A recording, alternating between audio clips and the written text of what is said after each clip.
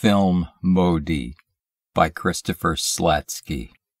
The art of film can only really exist through a highly organized betrayal of reality. Francois Truffaut. Leslie had memorized the entirety of human wreckage's stock, from the piles of dusty bootlegs and stacks of Eurosleaze exploitation to the cinema verite haphazardly shelved. The store's walls were papered with posters of rare or lost films.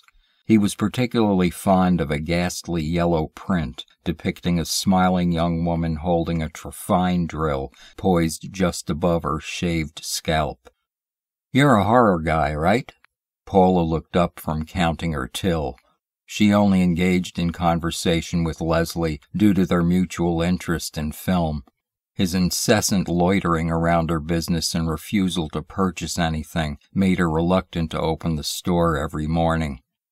Leslie nodded, continued reading the description on a Japanese VHS import of An Orgy of Entrails. Someone dropped these off this morning. Paula held up a handful of black and white photocopies. They depicted a movie screen, a jumble of women's heads and naked torsos stacked on the stage below. The film titles were printed in tiny cramped letters, difficult to read on the cheap reproduction. Leslie was only able to make out Lust of the Vampiress, Slit Slut, and something that may have been Doll Humiliation. The date and show times were listed just above the event's name Abattoir Fest. Film Festival? Looks like it. Mostly Euroschlock, Giallo shit, bunch of horror directors I haven't even heard of. You know, Aquino, McBride. Paula snorted in amusement. Van Riesen? Leslie had to reluctantly admit he didn't. His gaze moved down the page, snagged on one title Film Maudit. He knew as much as there was to be known about Film Maudit. Its writer, director, and producer were anonymous. Rumor was it may have been a collective of filmmakers. Shot in Germany, or at least the unidentified actors spoke oddly accented German, and released in the summer of 74 for one weekend in just a handful of showings where it was swiftly condemned for its disturbing violence and sexual content. All known prints had long been misplaced or destroyed. Little else was known about the film's production, the holy grail of lost films. The mysterious producers had even gone so far as to hire extras to protest outside of showings, waving signs and chanting slogans condemning the film's alleged use of actual snuff footage. This attempt to manipulate the viewing public had the desired effect an obscure foreign horror flick became a newsworthy sensation for several days until Nixon's resignation pushed the story aside. Look it. Paula tapped the page in Leslie's hand. They even dug up one of those Tingler machines. Leslie looked at the ad again. An asterisk hovered next to Film Maudit like a tiny puckered black star his gaze lowered to the other dim star fallen to the bottom of the page. The precise calligraphic print read, featuring a restored oscillator. It's not a Tingler. His heart raced. Really? Swore I read Tingler. Human wreckage was muggy inside. Sweat dotted Leslie's face. He ran a slick palm across his dreads. Kinda like the Tingler. Oscillator was more like, uh, like Sensurround, sound system used for the disaster flick Earthquake, so loud it rattled the whole place. Paula raised a pierced eyebrow. Films were something else back then. Who needs character development, mise en scène, narrative, camera placement? She held her forefingers together, thumbs straight out to form a square, framing Leslie's head in a shot. He didn't acknowledge Paula's sarcasm. Gimmicks ended around the time of Waters' polyester, with those scratch and sniff cards. Actually, now that I think about it, Gaspar Noé used something like the oscillator, in Irreversible, played a really low 28 Hz frequency background sound that was supposed to disorient the audience. You know, make them sick to the stomach, dizzy and shit. Oscillator did something like that too, but more psychedelic, like those CIA programs blasting the public with high frequency sound waves, incapacitate the central nervous system, make the enemy hallucinate, wig out. Leslie wiggled his fingers in the air to emphasize his point. Paula folded her arms across her chest. Not my idea of a good movie night. Film Maudit wasn't supposed to be entertainment. It was supposed to be an ordeal. Oscillator was going to change the way people watched film, like actually physically fuck them up. Everyone was going to be altered, not just because of the sound, but the environment, the experience itself. Paula leaned back against the counter. You ever see through a glass darkly? Great use of sound. The scene with the roar of the helicopter's engine triggering Harriet Andersson's breakdown. Damn, what a performance! Film has its own language, like we know what it sounds like when someone gets punched in the face, but it's a completely different sound when it happens in a movie, its own way of communicating the five senses, different than real life. What's the gore like? What? It's Bergman. You do know there's more to films than tits and blood, right? Leslie stroked his chin in faux contemplation. Maybe, Anyway, so few people saw Film Maudit, there's not much to go on. The handful of critics that went to a screening refused to describe the plot, just wrote shit about it, tore it to shreds, even accused the theater employees of slipping acid into their RCs. Paula laughed. LSD. Now that's a gimmick Castle never tried. She gestured toward the sheet. Festival is at the old Klein Theater on Burroughs Street. No idea that place was still around. Leslie was just 10 years old when he'd seen his first film unattended at the Klein Sorority Bloodbath. The gruesome makeup effects, gratuitous nudity, and vestigial plot led to his love of underground films, the filthier the better. Last he'd heard, the theater had closed down and become a refuge for the city's booming junkie population. He hadn't heard they'd renovated and reopened supposed to spend time with my daughter that weekend, but I think I can talk her mom into watching her. I deserve some me time, right? Asking the wrong person. You going? No can do.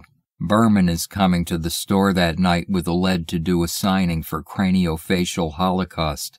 Don't expect a big turnout, but there are some hardcore gorehounds that'll waste some time talking to the director. Who knows, one of the little leeches might actually buy something. Leslie should have been excited he was on the way to Abattoir Fest, but he was still fuming over his daughter's inability to do even the most basic chores around the apartment.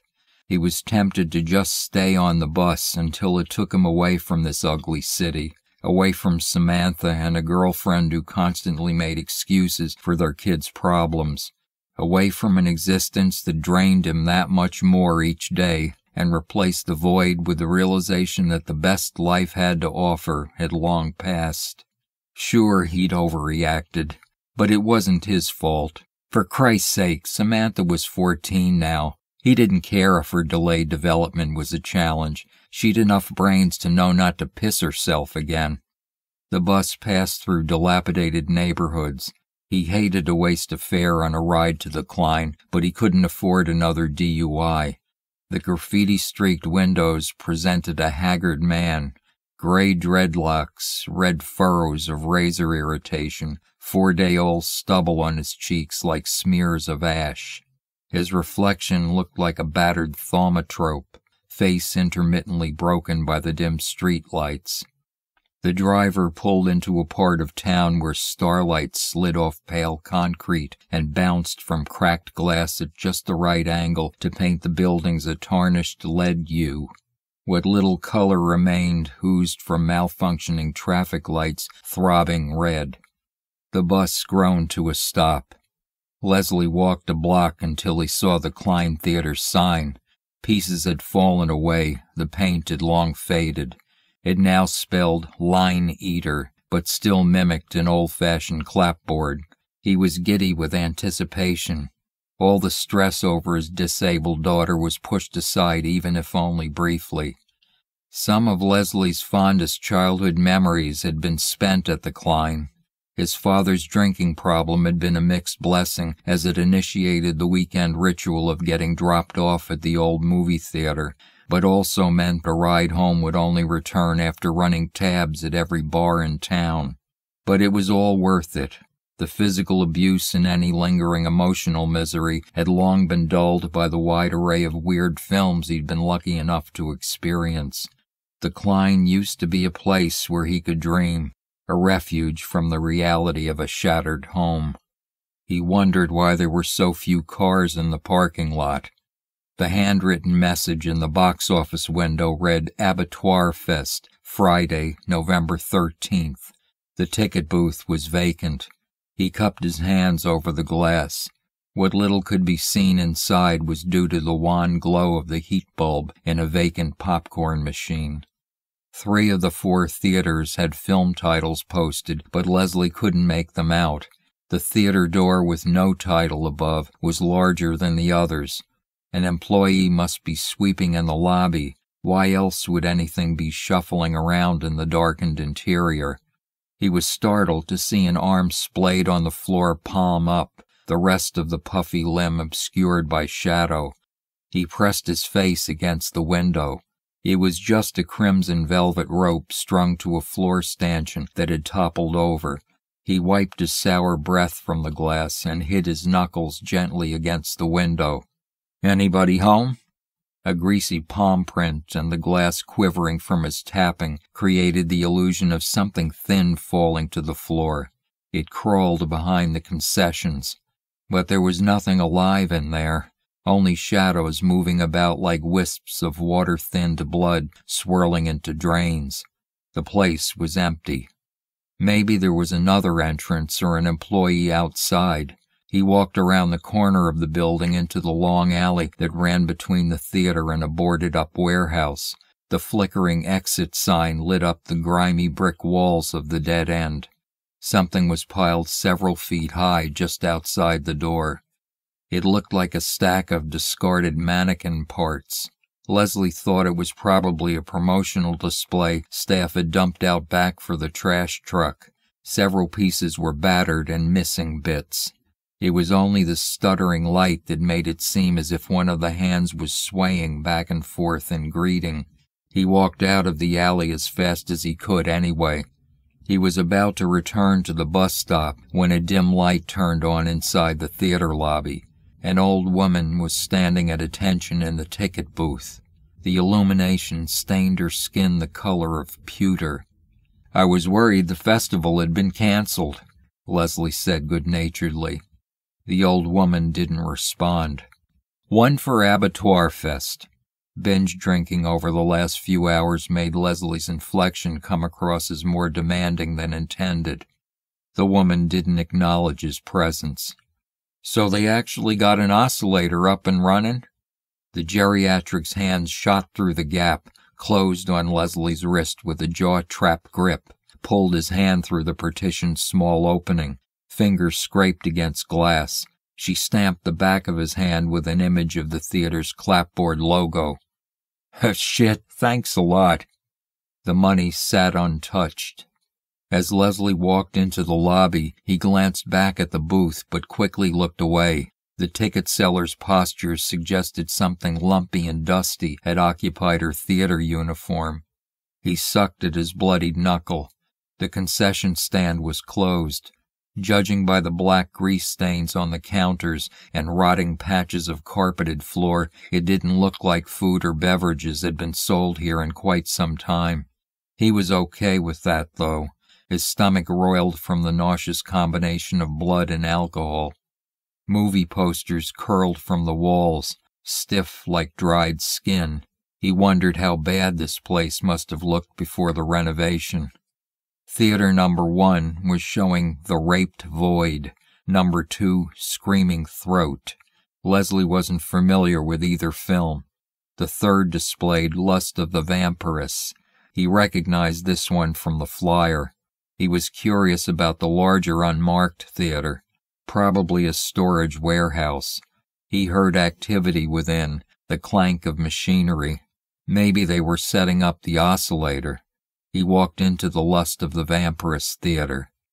The seats were a plush burgundy and surprisingly elegant. Dust wafted from the fabric. He stifled a sneeze so as not to annoy the handful of patrons, though they seemed captivated by the blank screen and made no move to acknowledge his presence. He wasn't too surprised at the small audience, as even he was unfamiliar with many of the movies advertised tonight. But he was here for film Maudit. Everything else was filler. Movement caught his eye. He glanced up at the ceiling. Several panels were missing, their vacant squares dark and ominous as the entrance to an abandoned house's attic. He turned his whole body around to look at the projection room, hoping to catch a glimpse of the oscillator being prepared, or even any evidence such a device existed and wasn't simply an invention to draw ticket sales. There was nothing but the dark window. He realized he didn't have any idea what an oscillator even looked like. He had an image of something robotic and menacing squatting next to the projector, or maybe several small units placed in each dark corner of the theater.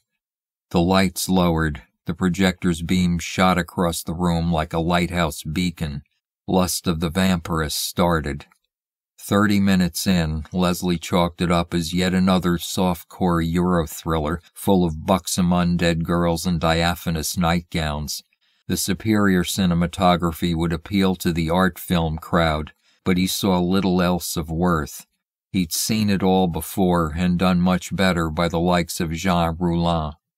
Then the lesbian vampires started doing something to each other he didn't find particularly erotic. Their gestures were overwrought. There was far too much chocolate sauce colored blood on the voluptuous actress's thighs. Something lying just beneath the soundtrack surface suggested breaking glass or rust forming. Leslie found himself looking away twice, on the third occasion, he confronted the screen with his gaze, but something in his peripheral vision needled him for attention.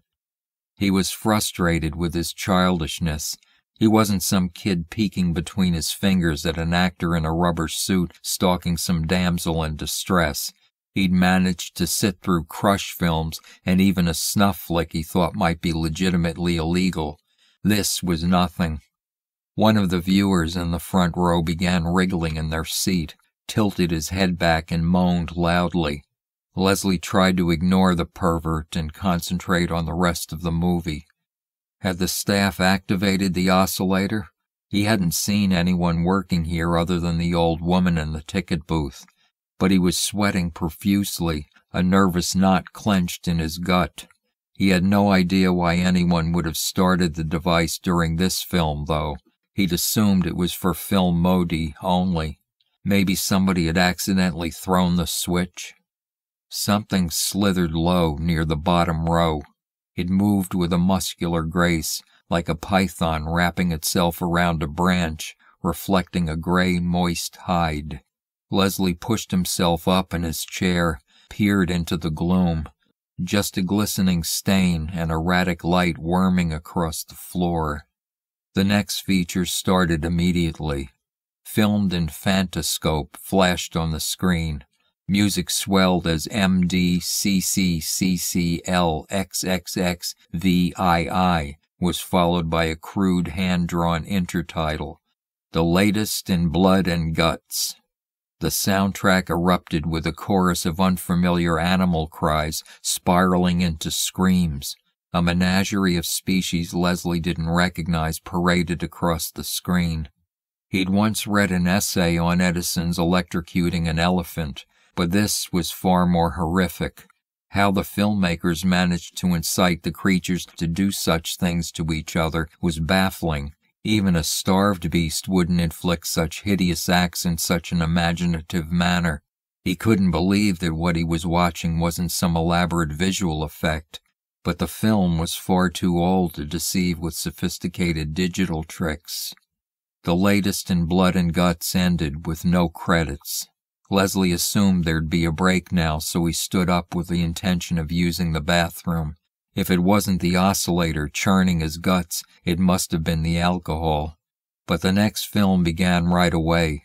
He sat back down, crossed his legs to alleviate the pressure on his bladder and bowels. Several more films were screened. Alcohol must have dulled his memory. He was hard pressed to remember the names of any he'd just seen, much less plot details. He wasn't sure how much longer he could remain seated. Finally, film Maudit began. Leslie clapped but stopped when someone a few seats down turned to glare at him. He thought it was cool that some horror fans were so devoted they dressed up in grotesque masks even for a small festival like this. He tensed, listened for any auditory cues, a blinking light in the dark, a change in the air. Nothing. But they must have activated the oscillator. Why else would the aisle seats seem to be undulating like waves? Film Maudit opened with a medium shot of a dirt floor surrounded by three concrete walls, the fourth removed for the camera crew. An uncomfortably young looking girl sat in the center of the room. She was naked and kneeling, face covered by a mauve paper butterfly mask. Her arms and stomach were wet with fake blood that looked like the melted crayon waxy gore in Profondo Rosso. The girl's skin, her mouth, the way she moved, all seemed hauntingly familiar. She slowly stood. Her waist was impossibly narrow, tapered to a wasp thin shape. The soundtrack was just the swish of limbs against wet skin. Cries spilled from the speakers. The tension was nearly unbearable. She walked towards the camera. The girl's breathing didn't match her sobs. The screen filled with her face and plump crayon red lips. She broke into a smile that threatened to become beatific. Her lush mouth dominated the theater. The soundtrack's crumbling stone sound vibrated the room. Her knees were bent the wrong way. The film must have been missing a reel. She suddenly appeared in another room with several other actors, all sitting cross legged on a dirt floor. Everyone wore butterfly masks, but nothing else. An intertitle read, Sex Vela, Sex Vela, Sex Vela. Leslie found the makeup effects disturbing but not particularly convincing, especially that hypersaturated blood. He thought the mutilation of the actor's genitalia was amateurish prosthetic work, but their horrified reactions made him queasy. Not bad for such a low budget sleaze fest. The audience sat completely motionless, slumped at awkward angles in their plush seats. The masturbator was mewling in what Leslie thought was prelude to orgasm. On listening further, it sounded more like the panicked cry of someone too deeply submerged in nightmare to wake up. If the oscillator hadn't been on before, it must be operational now. A growl reverberated, rattled Leslie's chest, spread through his muscles. The theater walls felt as if they were closing in. Film Maudit was off somehow, the frame rate wrong. Leslie still had to use the bathroom. He needed to talk to management, request they turn off the oscillator. That should clear things up. He stumbled up the aisle, couldn't believe he was taking a break from a film he'd always dreamt of seeing, but his head was filled with a strange soundtrack, the chattering susurrus of an unseen ensemble. It felt as if his brain was pulsing against his skull. He had to get some fresh air, had to get away from the radius of that oscillator fucking with his head. He couldn't have been the only one to complain about the machine. The lobby was empty. The old woman in the ticket booth was gone. A loud knocking emanated from inside the unmarked theater. The gibbering music in Leslie's head made him retch. The theater door shook. Something within made the sound of oily plastic sliding against rusty metal, the clank of gears and a moaning like blowing into a bottle. Someone frantically pummeled against the other side of the door. Leslie took a step away, but not quick enough to avoid the door striking him in the face. Metal hinges tore, a stray screw sailed across the room, pinged off the ticket booth's glass. He collapsed, cheek and chin pressed so forcefully against the filthy carpet he no longer looked like himself. An impossibly thin figure stood just inside the theater, its form subtly distorted, not bilaterally symmetrical, like a poorly constructed clay model, one side drooping lower than the other. The screen behind it glowed with an otherworldly haze. Atavistic images caroused up there. Odd animals frolicked, clucked and chittered and brachiated and crawled in a sinuous manner with difficult to define limbs. A little girl stepped into frame from the right. Her face was shiny. Leslie couldn't explain why he knew she was slathered in lard, much less why he was certain he'd seen those cheekbones and eyes before. Something released itself from a phlegm colored edge fog at frame left.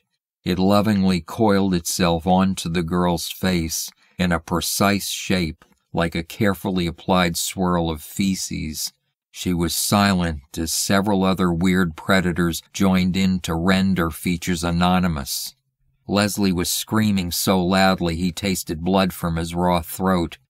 The person towering over him was far too tall to be anything but a distorted shadow. He'd suffered a concussion. The contours of the man's face were wrong. Leslie couldn't fully comprehend what he was looking at. A concussion. It hunched to pass through the doorway.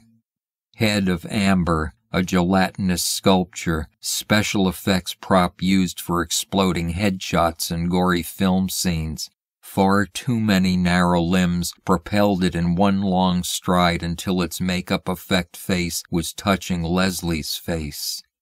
Invisible bodies press against him, slide over his skin with the texture of tangled kelp bulbs, washing over a drowning victim as he sinks into unconsciousness. Leslie woke up back in his theater chair. The oscillator's music roared. The seats were now all occupied, the audience clapping and whistling enthusiastically. A remarkably skinny form sat next to him, but he couldn't turn his head to see who it was. It didn't matter much. His attention was fixed on the bizarre antics projected on screen, and he couldn't imagine why he'd want to look at anything else. The thin companion touched Leslie's forehead with a long finger, carved out a perfectly smooth circle, plucked the bone coin away, poked its finger through the skull into the hole. Exposed to the air, the film's colors bled into Leslie's fevered brain, the hue of deformed peacocks, glass-tailed and shimmering.